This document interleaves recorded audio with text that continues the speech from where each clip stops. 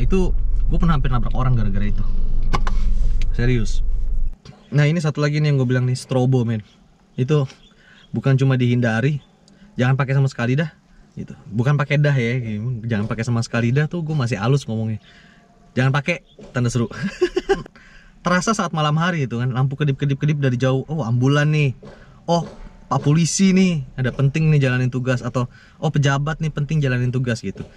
Kita kasih jalan gitu ya begitu kita lewat ternyata plat biasa. Ngeselin ya maksudnya eh gimana ya? Gini lah. Kalau gue ngomong arogan tuh terlalu terlalu terlalu polos men. Terlalu terlalu naif gue ngomong cuma arogan doang. Gue cari kata-kata yang agak nyelekit.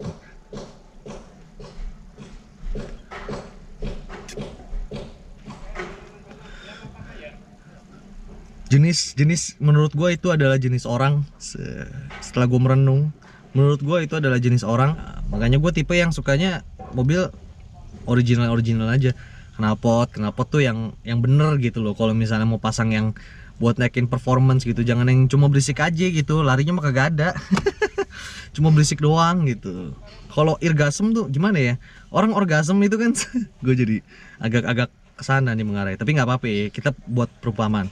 Orang orgasm itu kan pelan pelan pelan dus gitu kan naik gitu kan pecah jadi kalau lu mau jadi orgasm jangan di bawah men jangan di RPM bawah jadi kayak ejakulasi, ejakulasi dini 3000 ke atas gitu nah baru dus gitu wah itu kan keren gitu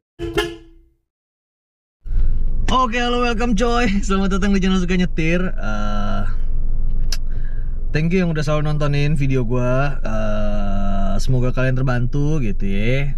Eh, dan semoga kalian tetap selamat di jalan. Eh, bertambah cara berkendara, cara berkendara yang baiknya gitu kan. Gue ngebleng ngebleng nih. Ini gue bikin video pagi soalnya gue baru bangun tidur sebenarnya. Mandi langsung. Uh, jadi kita siapkan kopi, kita siapkan rokok ya kan, supaya cepet. Uh, terus gue juga nih pakai kacamata hitam always gitu karena kantong mata gue tuh termasuk yang tebel gitu ya kalau kalau kurang-kurang istirahat. Nah kemarin kan kita udah bahas uh, jalan luar kota ya, uh, tips jalan tips nyetir di jalan luar kota gitu. Uh, terus habis itu kan kemarin gue ngomong kan mau bikin tentang cara nyetir irit pakai mobil matic gitu kan cuma berhubung gua real life lagi sibuk banget uh, jadi itu kan butuh butuh waktu yang panjang tuh buat buat syutingnya uh, buat proses bikin video gitu jadi yang ngomong gini dulu ya uh, tapi next gue bikin gue coba gue usahain gue bikin uh, tips nyetir nyetir irit pakai mobil matic uh, kemarin di video jalan luar kota itu di bawahnya itu ada yang komen-komen Bang, uh, bikinin video, ntar gue kasih komennya lagi seperti biasa. Uh, bang, bikinin video tentang etika modifikasi gitu. Terus dia ada lagi masih orang yang sama atau bukan ya? Pokoknya intinya ada lagi yang ngomong atau dia yang ngomong gitu ya. Uh, karena dia terkena lampu-lampu yang silo sekali dan lampu kedip-kedip gitu ya, lampu rem yang kedip-kedip gitu, pusing palanya gitu. Nah ini memang sebenarnya gue pengen bahas gitu, tapi uh, belum kepikiran gitu ya baru baru kepikiran pengen buat nih tapi ya gitu ya terus uh, ternyata ada yang komen gitu kan nah waktu yang tepat nih buat bikin nih kan? Sebenarnya banyak banget yang gue mau bikin dengan monolog monolog begini gitu ya. Oke kita bahas itu. Jadi uh, mungkin bukan etika modifikasi kali ya. Menurut gue lebih tepatnya adalah uh, aksesoris yang sebaiknya dihindari gitu ya. Uh, modifikasi itu kan pemasangan aksesoris tambahan atau mengganti part ori gitu ya. Uh, supaya terlihat lebih keren ya sesuai sesuai sesuai dari pemilik kendaraannya gitu. Ya kayak gitu. Gue masih ngeblank lu masih ngantuk gue sebenarnya. Ini mata gue sayu banget sebenarnya kalau nggak pakai kacamata. Jadi gue ngopi dulu. Oke jadi uh, mari kita bahas uh, videonya.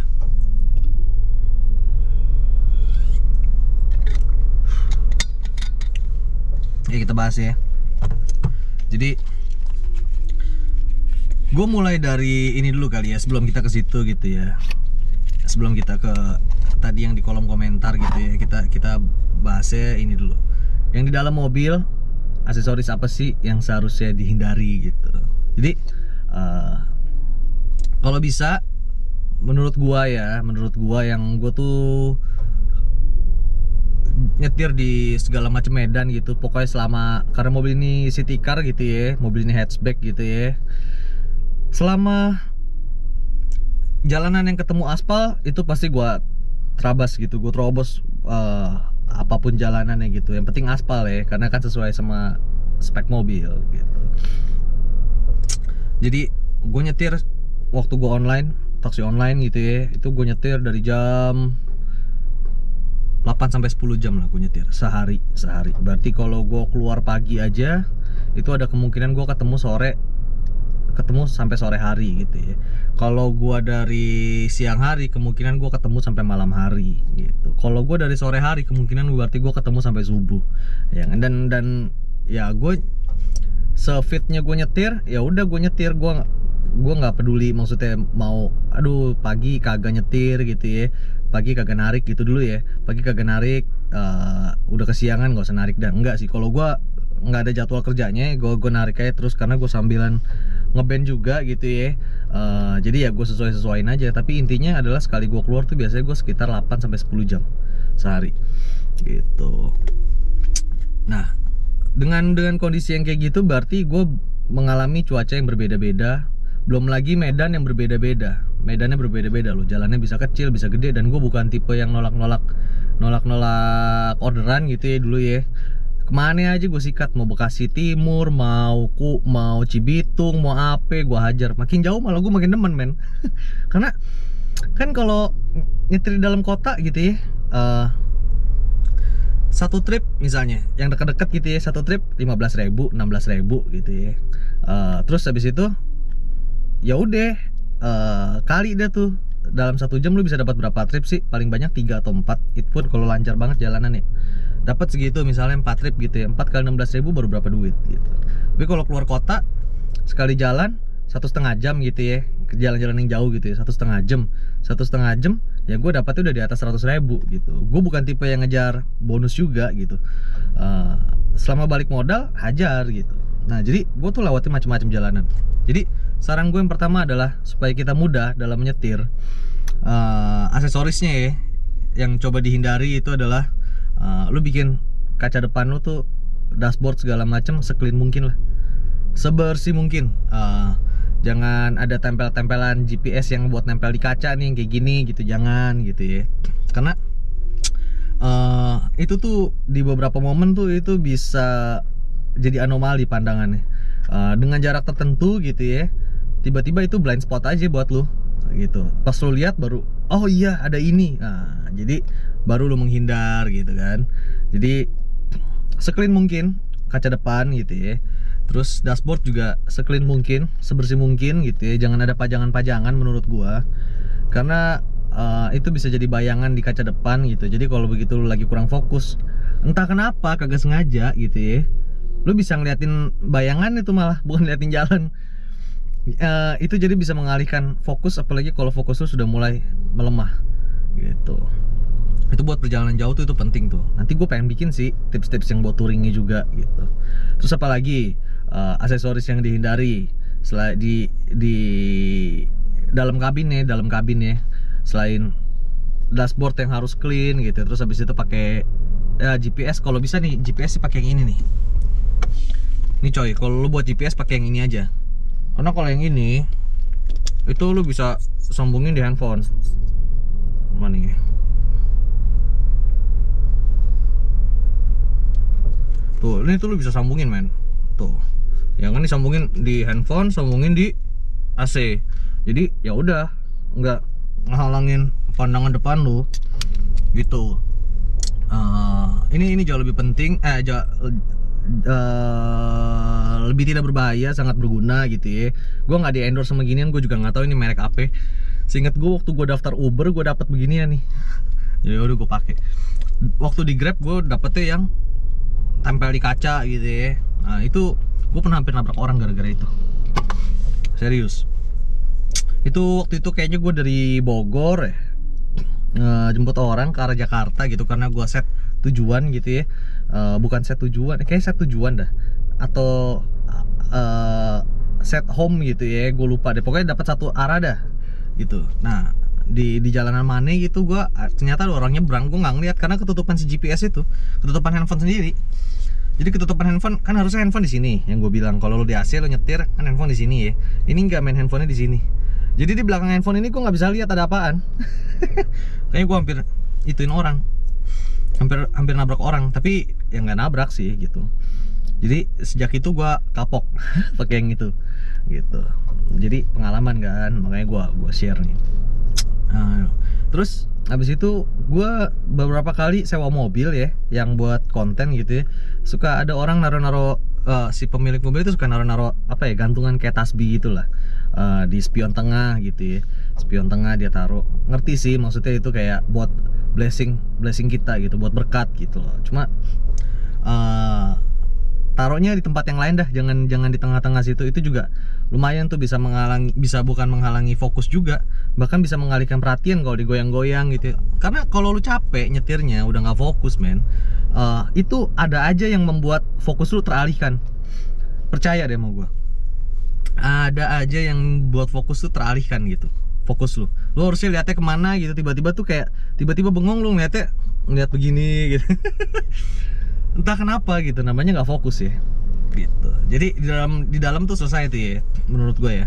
Dashboard dashboard tuh harus clean gitu. Kaca film kaca film tuh jangan terlalu gelap men. Depan samping sini jangan terlalu gelap. Kalau lu belakang mau agak gelap nggak apa-apa deh. Tapi kalau bisa si kaca belakangnya pun jangan terlalu gelap. Gitu. Jadi orang lain bisa yang gue bilang waktu di tips nyetir di jalan tol orang lain tuh bisa tembus lihat ke dalam mobil kita bisa lihat ke kaca depan gitu. Ya oke lah kalau buat privacy gitu tapi kan ada batasnya jangan sampai gelapnya segelap gelap apa tahu sampai lu nggak bisa lihat apa apa gitu. Karena someday lu pasti akan jalan ke jalanan yang gelap atau keluar kota gitu. Di Indonesia itu kan eh aduh sorry to say nih pemerintahnya kan eh, apa namanya aparat aparat aparat setempatnya kan kurang tuh perhatiin yang detail-detail gitu gitu. Jadi jalanan ada yang terang ada yang gelap gitu. Ada yang bagus ada yang jelek gitu. Eh, macem-macem. Karena gue gua ngomong begini karena gue udah lewatin berbagai macam jalanan gitu. Jadi sebisa mungkin visibilitas lu jadi bagus aja gitu menurut gua. Di dalam ya di dalam. Terus kita kita kita pindah keluar nih. Kalau di luar apaan sih? Di luar tuh menurut gua simbol velg deh velg. Velg itu kalau bisa dinaikin kalau lu mau naikin mau pas mau pasang aksesoris velg yang yang lebih lebar lebih gede gitu ya tak pakai ya eh, kalau bisa dinaikin satu aja. Jangan sampai dua atau tiga gitu atau ya kalau dua sih masih oke lah tapi tergantung ya balik lagi ya kempukan mobil lu ya. Tingkatnya kayak gimana sih gitu. Kalau kalau terlalu fatal tuh ngaruh tuh men. Eh, misalnya terlalu lebar gitu tak pakai gitu ya. Ini kan kalau nggak salah mobil ini tak pakai tuh 175 gitu. Misalnya gue naikin di lah 185 gitu atau 195 itu masih oke gitu loh. Tapi kalau naikin sampai 205 itu kan udah lebih lebar daripada bodi mobilnya kan. Jadi pabrikan itu selalu ngeset mobil itu begitu kita lihat di spion tuh seret rata lurus gitu satu line. Jadi supaya lu nyetirnya gampang. Sebenarnya begitu men.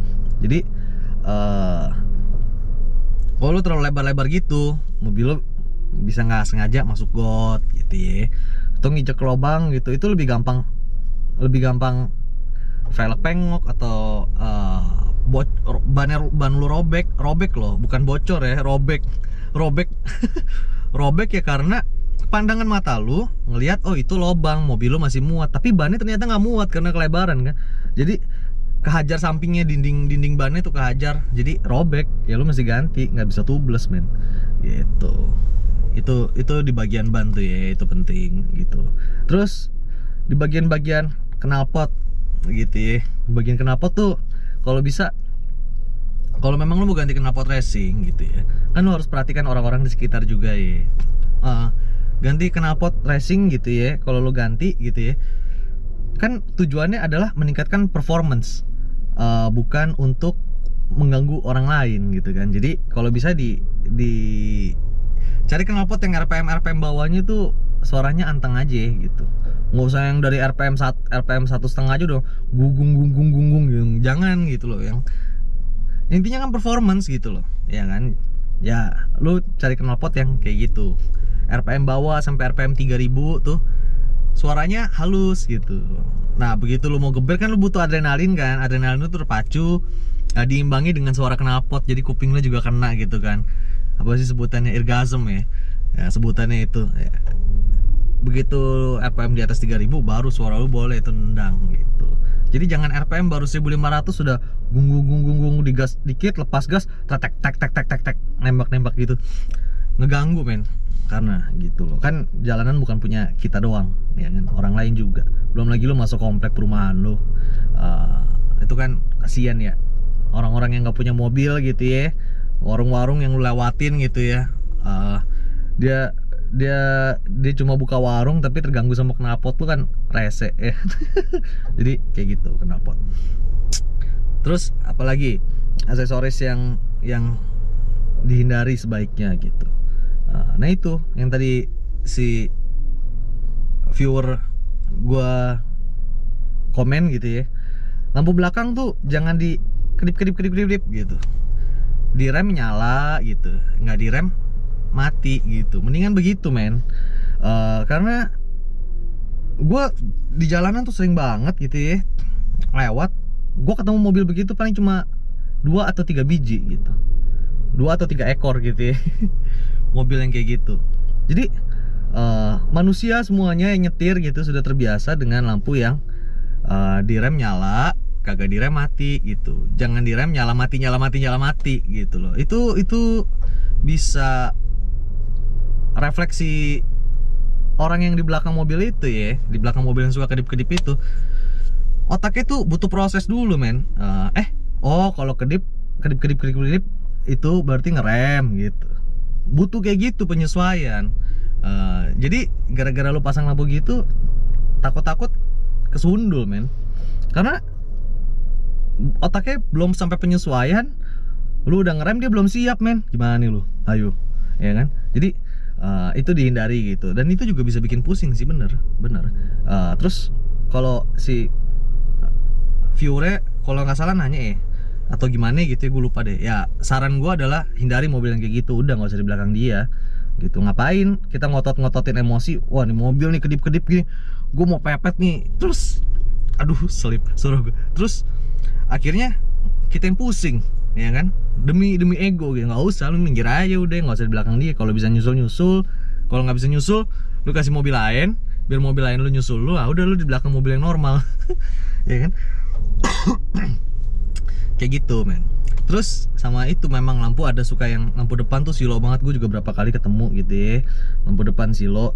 Uh, gimana caranya ya? Kebetulan sih spion gue elektrik ya jadi bisa diatur kan. Uh, ya semoga rata-rata sih mobil sekarang udah elektrik ya tapi kalau belum elektrik ya udah lu buka kaca lu turunin aja lu spion lu. Spion tengah juga turunin aja dulu sampai dia kagak ada sampai dia lewat gitu. Kalau nggak ya lu kasih jalan aja gitu udah. Habis mau gimana nih ya kan? Kadang-kadang orang kayak gitu kan uh, supaya demi memuaskan hasrat dia kan tapi tidak memikirkan orang lain kan nggak mungkin. Kita berhenti kita cegat woi lampu lu woi gitu. Jangan dong masa berantem di tengah jalan kan nggak usah. Udah biarin aja. Nanti suatu saat ada yang itu juga ada yang ngegebrak dia nggak usah kita gitu. Ya kan? Terus apalagi. Nah ini bukan bukan cuma dihindari ya. Ini kalau bisa jangan nih aksesoris yang ini. Uh, ntar gue ngerokok dulu lah nah ini men gue bilang sekali lagi lo kalau ngerokok ya buka semua kaca di dalam mobil. Kalau ngerokok buka semua kaca. Jadi nanti uh, terus pasang pewangi ini pewangi ginian nih taruhnya di AC gitu ya. Apa aja merek merek bebas nih. Uh, gue nggak di endorse ya ini merek Stella ada lagi merek Glade kalau nggak salah ya. Uh, jadi tidak mengotori dashboard tuh dengan lo harus tempel double tip atau lo gantung-gantung gitu ya. Kalau lo gantung-gantung nah itu balik lagi itu bisa ngeganggu fokus kalau lo nyetir terlalu lama gitu. Bisa bisa lebih ada alasan fokus lu teralihkan karena dia ya kan? Tapi kalau dia stay di AC gitu ya nggak apa-apa nggak keganggu kan kita. Gue ngerokok dulu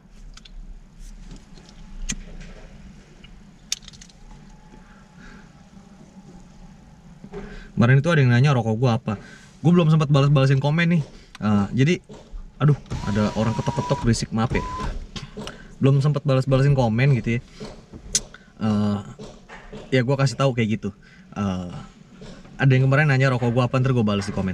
Terus abis itu nah itu yang gue bilang kalau lu ngerokok kaca tuh buka semua gitu. Jadi eh, si asapnya ini nggak nggak nempel di ginian di plafon kagak nempel di jok gitu ya. Terus lu pakai pakai pewangi.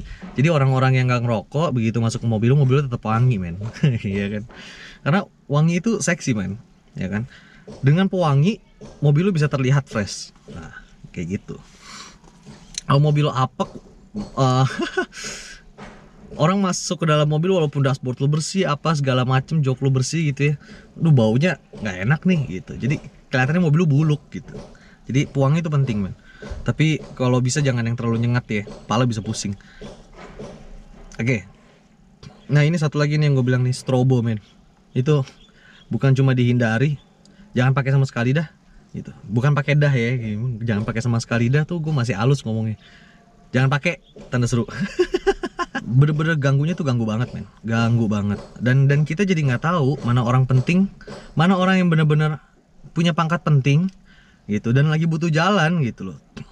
Gue nggak bisa bedain dong kalau malam itu kan biasanya akan terasa saat malam hari itu kan lampu kedip-kedip-kedip dari jauh. Oh ambulan nih. Oh pak polisi nih ada penting nih jalanin tugas atau oh pejabat nih penting jalanin tugas gitu. Kita kasih jalan gitu ya. Begitu kita lewat ternyata plat biasa. Ngeselin ya. Maksudnya eh gimana ya? Gini lah kalau gue ngomong arogan tuh terlalu terlalu terlalu polos men. Terlalu terlalu naif gue ngomong cuma arogan doang. Gue cari kata-kata yang agak nyelekit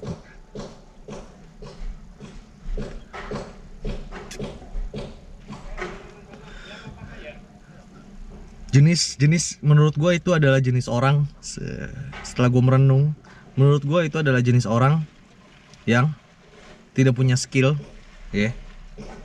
Tapi mau cepet gitu tidak punya kepentingan tapi ingin merasa penting dan dihargai gitu. Jadi uh, mi- minta dikasih prioritas gitu.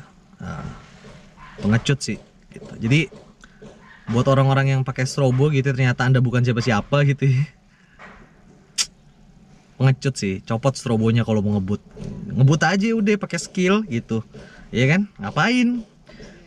Eh pakai strobo gitu ya buat nyelip-nyelip ya itu artinya anda tidak punya skill. Karena anda harus mengandalkan prioritas men. Gitu. Nggak usah udah normal-normal aja gitu. Ya gitu. Udah paling sekian sih nggak ada lagi sih. Jadi menurut gua eh, kalau aksesoris-aksesoris yang harus dihindari ya bikin dashboard tuh seclean mungkin gitu ya. Jangan ada tempel-tempelan double tip sayang dashboard lu men gitu. Apalagi dashboard-dashboard yang mungkin kalian ada pemilik zaman mobil zaman dulu yang dashboardnya ternyata yang dashboardnya tuh soft gitu ya. Itu ngerusak. Men kalau dashboard dashboard kayak kita gini sih kagak ngerusak sih. Dan ini masih gampang di repaint gitu loh dashboard dashboard plastik yang zaman sekarang.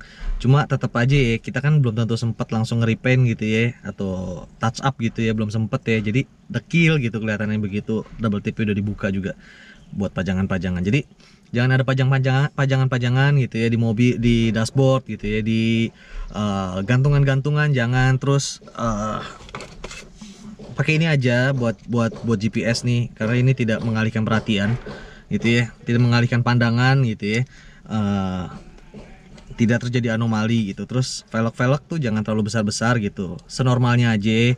Naik satu aja naik satu Eh, ban naik 10 lah. Jadi dari 175 pakai 185 gitu. Atau pakai 195 eh pakai 185 aja gitu ya.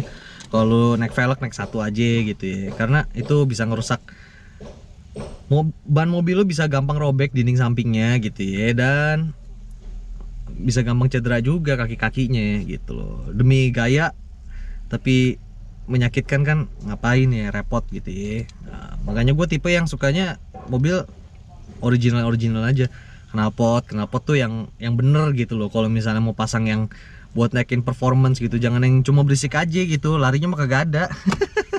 Cuma berisik doang gitu. Kalau irgasem tuh gimana ya? Orang orgasm itu kan gue jadi agak-agak ke sana nih mengarah tapi nggak apa-apa ya kita buat perumpamaan. Orang orgasm itu kan pelan pelan pelan dus gitu kan naik gitu kan pecah jadi kalau mau jadi orgasm jangan di bawah men. Jangan di RPM bawah. Jadi kayak ejakulasi ejakulasi dini. 3000 ke atas gitu. Nah baru dus gitu. Wah itu kan keren gitu kan. Ya, berarti ada tahapnya loh. Jangan begitu digas dikit udah ngung gitu. Udah udah kenceng banget gitu. Beda cerita nih kalau mobil lu emang Lamborghini, Ferrari, V6, V12, V8 gitu ya yang memang kagak dipakein kena dipakein knalpot yang biasa-biasa aja bukan buat berisik aja udah berisik men karena dari suara mesinnya gitu. Pistonnya 12 men ya kan? Gitu. Terus kaca film jangan terlalu gelap-gelap uh, supaya kalian tuh di segala medan tuh gampang nyetir ya. Gitu. Kaca film depan terutama depan samping sini yang buat lihat spionnya samping kanan kiri. Uh, kalau belakang sih kanan kiri terserah lu kalau mau gelap, gelap gitu ya. Terus habis itu di kaca belakang juga jangan terlalu gelap gitu ya. Uh, gue nggak ngerti sih sekarang kan kaca film udah semakin semakin semakin banyak ya uh, jenisnya ya. Kalau zaman dulu tuh gue ngurusin mobil tuh paling cuma 3M Vicul udah gitu aja. Terus habis itu dari 3M sama Vicul itu ya jenisnya cuma itu doang gitu loh 40% 60% 80% gitu ya sekarang tuh udah makin macem-macem kan? Jadi kalian pilih aja. Uh, eh, gue nggak bisa kasih saranin enak berapa persen gitu. Pilih aja gitu ya. Nah yang penting buat lu nyetir tuh mudah tetap gitu loh. Privacy lu tetap terjaga tapi tetap mudah lihatnya dari dalam gitu. Uh, makin canggih sekarang kaca film karena jadi cari-cari aja rekomendasinya. Di YouTube banyak kok. Lampu lampu depan lampu belakang tuh menurut gua jangan jangan jangan dirubah-rubah terlalu ekstrim gimana gitu. Karena itu udah ada ketetapan dari lalu lintas internasional gitu ya. Uh, terangnya segimana penempatan lampunya di mana bentuknya kayak gimana gitu loh. Uh, pancarannya kayak gimana gitu ya. Itu tuh udah, udah diatur sama pemerintah dan kebanyakan dan 90% orang 98% orang mungkin mengikuti gitu. Jadi cuma 2% kalian yang pasang lampu kedip-kedip gitu ya yang yang gak ngikutin aturan itu jadi bisa bisa kena resiko lebih gede gitu. Karena orang lain udah terbiasa sama lampu itu gue bilang. Dah terus habis itu kaca eh, lampu depan lampu depan tuh jangan terlalu silo-silo sampai gimana gitu kasihan pengendara lain gitu ya. Ya cara si kita kalau menghadapi orang-orang yang seperti itu ya jangan di belakang dia atau jangan di depan dia. That's it udah itu aja. Cara mudahnya ya nggak usah ego gitu oh gue mau beginiin. Nggak usah. Sama strobo-strobo tuh ya itu dia gue bilang tadi sekali lagi gue ingin menekankan kata-kata yang menyakitkan gitu ya. Itu tipe orang yang tidak punya skill tapi mau cepat. Pengecut gitu ya. Uh, kalau emang lo mau cepat pakai skill men. Udah itu aja. Namanya jalanan punya sama-sama gitu ya. Uh, jangan merasa dianggap uh, merasa ingin dipentingkan gitu ya. Karena orang lain juga penting men jalan. Orang lain kalau kagak penting-penting amat ngapain sih jalan? Ya kan mendingan di rumah rebahan ya kan? Jadi uh, kayak gitu ya. Yeah. uh, tapi kayak orang-orang tipe-tipe yang pakai strobo gitu ya. Itu yang kalau dikasih jabatan sedikit korupsi. M mungkin ya. Karena sering menyalahgunakan jabatan pasti karena tidak punya jabatan aja merasa punya jabatan. Apalagi punya jabatan men. Merasa Tuhan anjir. Oke okay, so itu aja. Sekian dari gua. Uh, semoga tidak berbelit uh, belakangan tadi gue bikin awal-awal gue ngebleng ngebleng belakang-belakangan udah enak nih ngomongnya oke okay? uh, nantikan video selanjutnya semoga gue bisa bikin yang irit-iritan semoga bergu supaya berguna buat kalian semua uh, jadi semakin irit pakai BBM Pertamina rugi nggak ya ya kayak gitu pokoknya oke okay? uh, jangan lupa like comment subscribe sebarkan gitu uh, karena uh, semakin banyak yang terbantu balik lagi gue bilang uh, akan berpengaruh lagi balik lagi ke kita gitu. Oke uh, semoga kalian terbantu. Uh, jangan lupa like comment subscribe komen komen lah. Uh, eh, gue akan balas komen mungkin seminggu sekali gitu. Jadi mungkin gue tumpukin dulu komennya mungkin ya karena gue kadang kurang sempet gitu ya. Uh, oke okay. bye bye